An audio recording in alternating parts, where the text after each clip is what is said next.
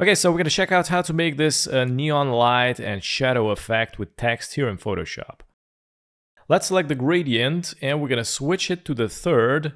And I gotta go here and drag it like this. I can press and hold shift so it's gonna straighten and I'm gonna release it. We're gonna need to merge this. So press control shift plus E. There you go. So now you can see we got one single layer. I'm gonna unlock it and I'm gonna pull this here, press Ctrl J to duplicate, press Ctrl T, right click, click on horizontal, and I'm gonna double click release and pull it to the right. Actually, I'm gonna try it out to pull all the way out and select both and pull it in. But you can see it's too wide. So I'm gonna select one of them and now I'm gonna select both, press and hold shift, select both layers and I'm gonna bring it here to the center. But now you can see we got this line going on, which is not good. So which is the one? The top one is the right one, all right? So I'm gonna need to mask this. I'm gonna create a mask and I'm gonna select the brush again and select the first uh, gradient option here and make sure that you're on black and white, okay? So this has to be on basic, or you also can select the black here, which is only the black.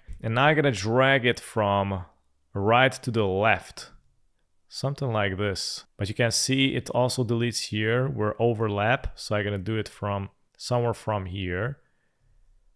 And I also can modify it. See that if I go here, it's gonna create this, uh, you can see this side of the bottom layer. So I'm gonna need to adjust it in a way that is going to disappear. And I'm gonna bring this maybe here.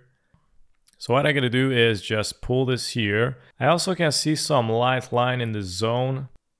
So what I'm gonna do is select a solid color, make it black, click OK, and I'm gonna drag it right under all the layers, so now it disappeared. I'm gonna press and hold Shift Select All, press Ctrl G to group. I'm gonna rename it as Background BG, and now we're gonna select the Type tool, press Ctrl T, press and hold Alt, scale it up. Now I'm gonna position it somewhere here.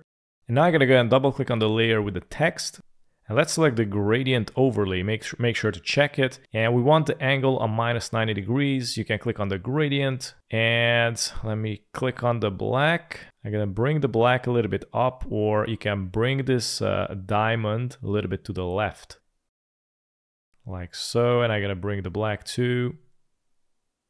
Something like this. Click OK, click OK. And I'm gonna create a new copy of this, press and hold Alt, drag it up. I'm gonna select the rectangle marquee tool and select this area like so. And I'm gonna create a new layer. I'm gonna select again the gradient and I'm gonna go with the second option. This is the radial gradient and I'm gonna go here somewhere in the center and I'm gonna pull it like this. Now you can see we're gonna need to switch the colors. So we got here the opacity control and I'm gonna bring this to the right and the white to the left. So it's gonna look something like this.